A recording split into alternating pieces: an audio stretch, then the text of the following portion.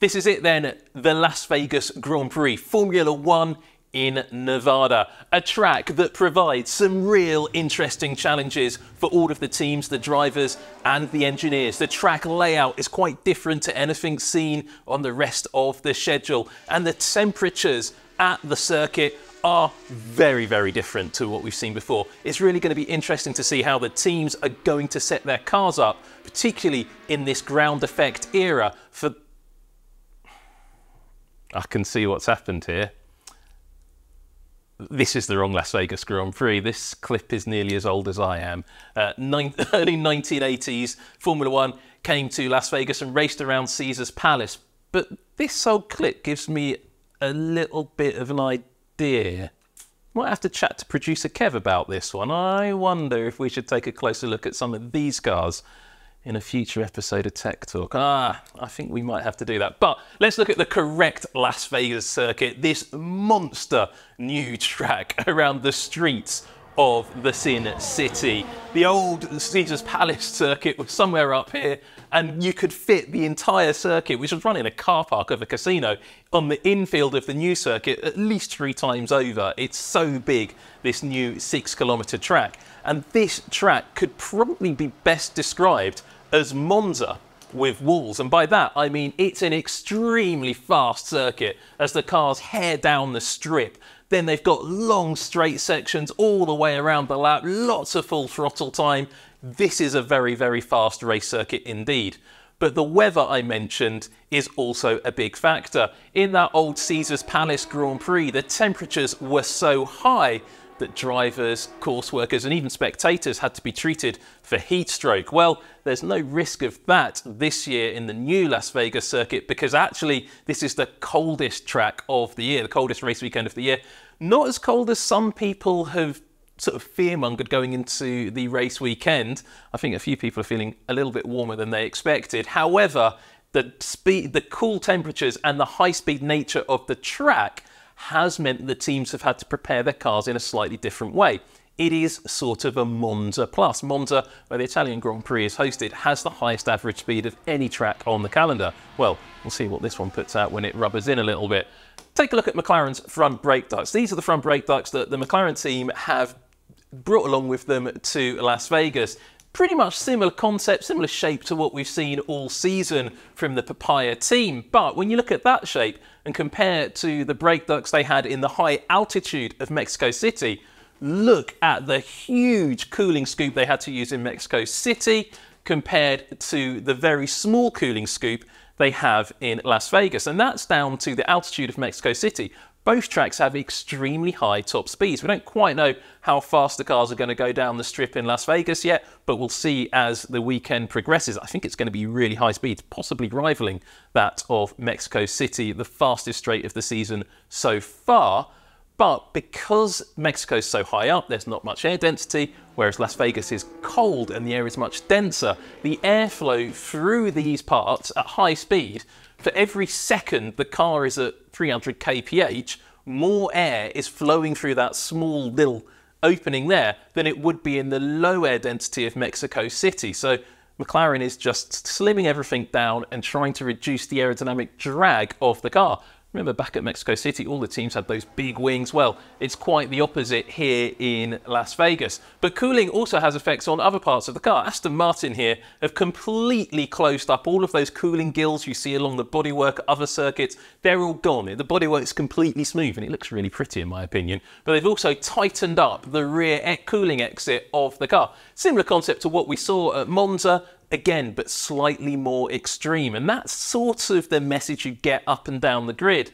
And as I mentioned, cutting all of that aerodynamic drag away, well, it's no surprise a lot of teams have bought different wing packages, Aston Martin being one of them. This is the wing package, the upper flap and the lower, the middle flap is the one to look at here. They've changed the, the layout of these flaps ever so slightly just to cut the drag out, balance the car the way they want to all the way around this circuit, try and get the car up to as high a top speed as possible, something the Aston Martin struggled with all season long. They need to trim a bit more drag out of that car, and that Mercedes power unit isn't always at the top of the speed traps either, unless you're in a Williams and very different concept there.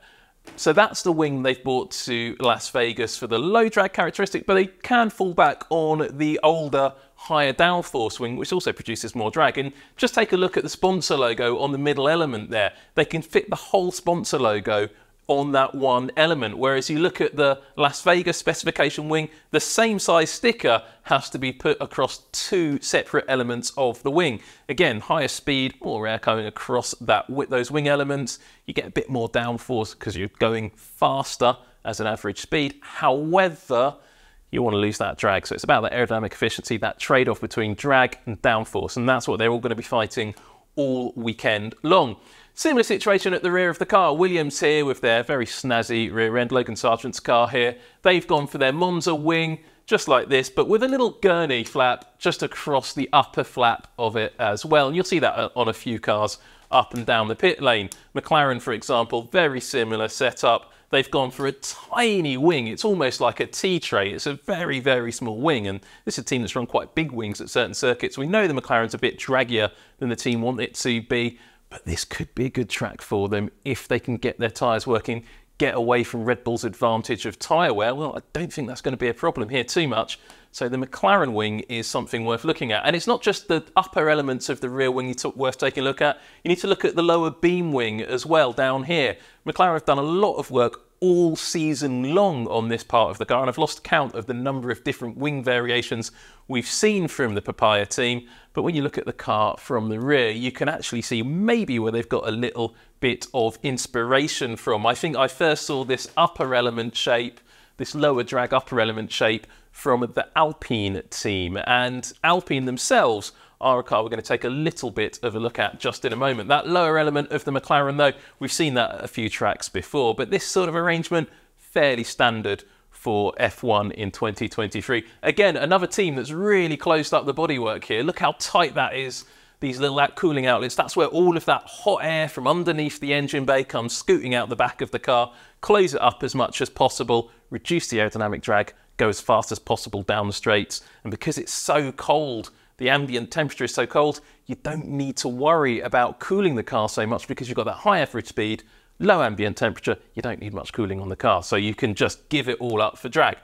Alpine, same story here. Front wing is cut down quite extraordinarily. That upper element is barely there anymore. And you can see how the team have really sliced out this chunk of wing at the top. I mean, previously the wing would have gone along sort of like this, but no, that's all gone, chopped it out. They haven't quite taken an angle grinder to it and cut it out, but the concept's sort of the same. So big change there for Alpine. Again, cutting that drag down. And you can see a similar story at the rear. Rather than going for a twin element lower beam wing, Alpine have turned up with just a single element lower beam wing. Again, an attempt to seriously reduce the drag at the rear of that car. And something else that they've removed that we've seen on a lot of other cars, and this is a bit of a brave move from Alpine.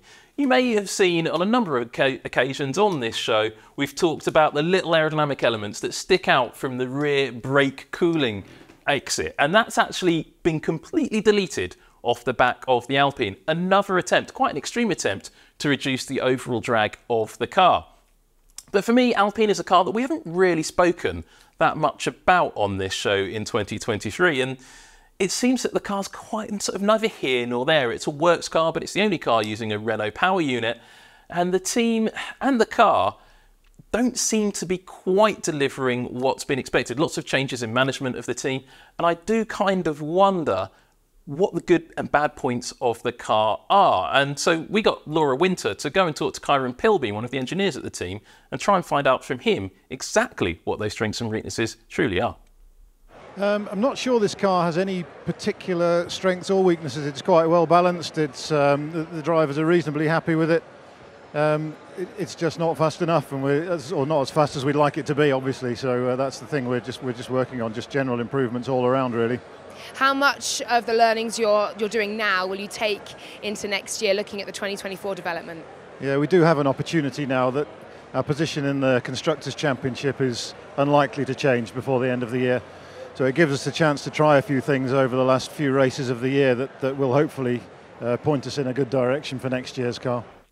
Well, another Formula One team that's got its sights firmly set on next year is Sauber Motorsport. Wait, who? Sauber Motorsport? That is the team or the company that manufactures the current Alfa Romeo Formula One cars. Well, the Italian car company is parting company with the Swiss based manufacturer at the end of this season, as that team will slowly morph into the Audi Works team in 2026. Be interesting to watch that process play out. But at the rear of the car, the team has bought one rather spectacular but not performance related upgrade, and that's this rather natty rear paint job, except it's not a paint job, it's a vinyl wrap. And I, I know there must be some engineer somewhere at the team's Hinwil factory who's twitching that these panels and the patterns don't quite line up on the different panels because they've vinyled them separately and not done it as a big paint job. Gone are the days of the old Toro Rosso sprayed beautiful paint jobs that you used to see hand painted at every single track. Those days are gone. And the reason they're gone, well, you can see that illustrated quite clearly on Mercedes, one of the few teams on the grid that don't have a special Las Vegas livery this weekend. Uh, Mercedes, well, they've been very much sparing on use of any sort of spray can all season long. Little bit of paint on the upper section of the car but the lower mm. section is all plain carbon fibre still. And it's all about weight saving because at this time of year, the cost cap starts to bite a number of teams. They have to keep a close eye on new components they use and how long each component has to last. And there is an emphasis on making components last longer in this cost cap era. But components that last longer, have a longer life, as a rule of thumb, are a little bit heavier. So it's a trade off with cost versus weight on the car. As long as you're underneath the weight limit, you just have to save and shave off every gram and a bit of paint could make all of that difference to your car's performance. Sounds ridiculous. There's a few kilos of paint if you paint the complete car, so it does make, make a big difference to the cars as the season goes on. But back to the topic of Sauber Motorsport and the Alfa Romeo team they have had a few revelations with this car in that they think that they've taken this concept to its absolute limit and for 2024 they're going to change their concept fundamentally. I'm not sure if that means they're going to copy the so-called Red Bull concept but it seems quite likely, doesn't it? But that does seem to be a new direction for this team. And helping them out in that new direction is an upgraded CFD cluster at the team's factory. Now, CFD, computational fluid dynamics, is the virtual wind tunnel. It's restricted, its use is restricted, rather like wind tunnel use is restricted under the aerodynamic testing restrictions that all teams face a new facility could make their aerodynamic development a little bit more efficient. The team's wind tunnel is considered one of the best in Formula One. It's actually the tunnel that Audi used to develop its Le Mans cars and FIA and Formula One used to develop the current technical regulations. So it is a well known wind tunnel. With a new concept, a new CFD cluster, and new ownership of that team, this could be a team to watch going forwards, and not least because its drivers' new calendar. Well, Alfa Romeo, Sauber Motorsport, they will be taking a new direction next year. I wonder how many other teams up and down the grid will be looking to a new direction after this weekend's Las Vegas Grand Prix.